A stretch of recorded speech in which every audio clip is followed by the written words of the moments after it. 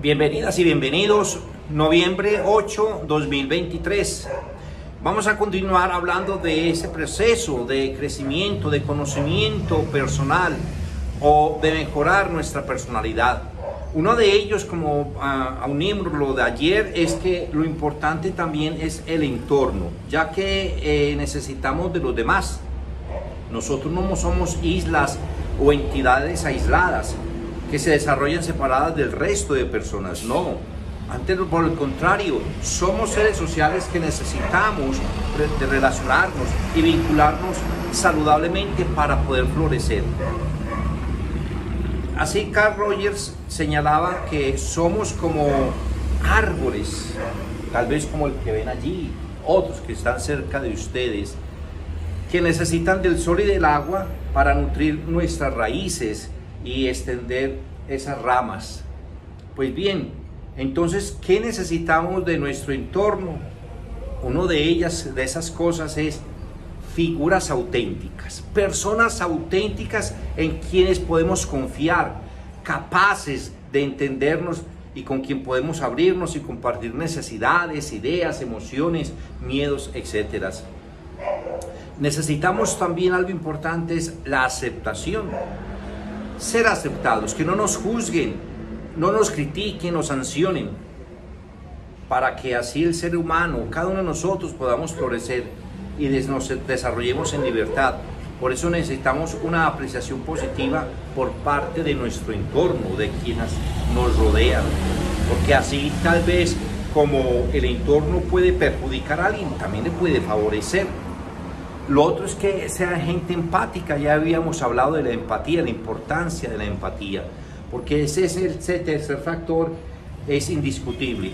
Sentirnos escuchados y comprendidos es una necesidad, es una necesidad indiscutible. Por eso convertirse en persona es estar motivado para el cambio. Buena parte de muchas terapias eh, terapéuticas o tratamientos terapéuticos que recibimos siguen un modelo que es identificar el problema, comprender causas y crear un plan de acción. Pero desde el punto de vista que les estoy llevando a partir de la psicología humanista, especialmente la de Carl Rogers, es la que nos invita eh, en ese enfoque alternativo con los que nos sentamos a hablar. Primero era eh, o es mm, mirar ese contexto y mirar ese guion terapéutico de aceptación, cercanía y cuidado. Solo cuando el ser humano se ve inmerso en un contexto psicosocial, aceptación y respeto, se siente motivado para el cambio.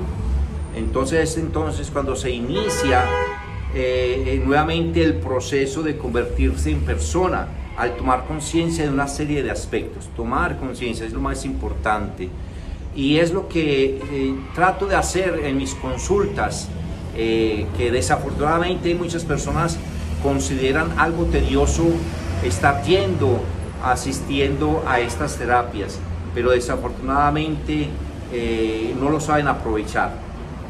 Por eso, uno de los aspectos que esto encierra es debemos de ser más realistas con nuestras autopercepciones es necesario comprender nuestras emociones, necesidades y pensamientos. Y también debemos valorarnos más positivamente, evitando reprimir elementos de nuestras experiencias.